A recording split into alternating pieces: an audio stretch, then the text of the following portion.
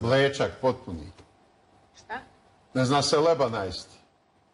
Nebojša Stefanović, blečak, kažem, potpuni. Jel imate taj izraz u Ne, ne znam šta znači taj red. Mlečak, Da.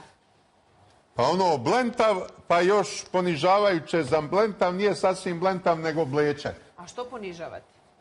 Pa zaslužuje kriminalac da bude ponižen na Ali tako ne možemo visokom pričati položaju. o nekome, gospodine Šešelju, da je kriminalac, kada taj neko nije ni procesuiran, čak nije ni pod sumnjom, taj neko Nije je ni naš pod sumnjom. ministar. Naš ministar, ma nemoj. Kažu Katarina. najbolji Pa ministar, čekajte, ništa on je nije... ministar. Ja koji sam i na Tita udarao kad je to bilo krajnje opasno, Čekaj. sad ću da se ustežem pred Nebojšom Stefanovićem. je tebi u- Nije bio sposoban kad je bio predsjednik Narodne skupštine.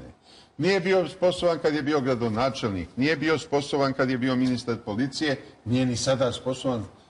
Sad je dobar ministar odbrane, zato što se uopšte ne meša u svoj posao. Svi aspekti njegovog posla pokriveni, pokriveni su delovanjem sposobnih oficira koje naša vojska, hvala Bogu, ima. Ko bi mu nešto ozbiljno poverio?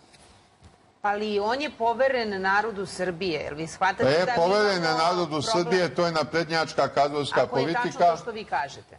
Neka oni malo o tome sad razmišljaju i ključno je pitanje Dobro, on je što bi- on već nije smenjen. Ako A on je bio član radikalne stranke u kojoj si ti bio šef. On je bio nosač bureka u Srpskoj radikalnoj stranci, koliko puta to da ponavljam. Nikad nikakvu ozbiljnu funkciju nije imao.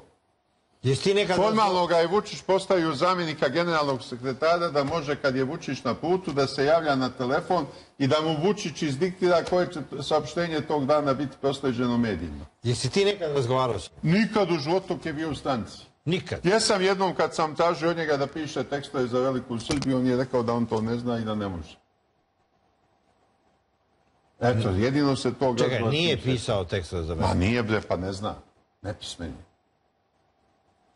A on može da tuzi, tuži vas za ovo što vi Ma može mene svako da Pa ne, tuži, on- tuži me i ti bre više, ajde tužite me Čekaj, svi. najavio je da ćete Pa tužiti. šta me to briga, gde mi je ta tužba? Nisam je još dobio. Nisi dobio Pa to će Stefan... biti narodno veselje u sudnici ako me zaista tuži. Čekaj, on sme da izađe tebi ovaj, Pa ne na, sme, bre. na crtu, da ona... Pa dve sme, nema, nema tri vijuge u glavi.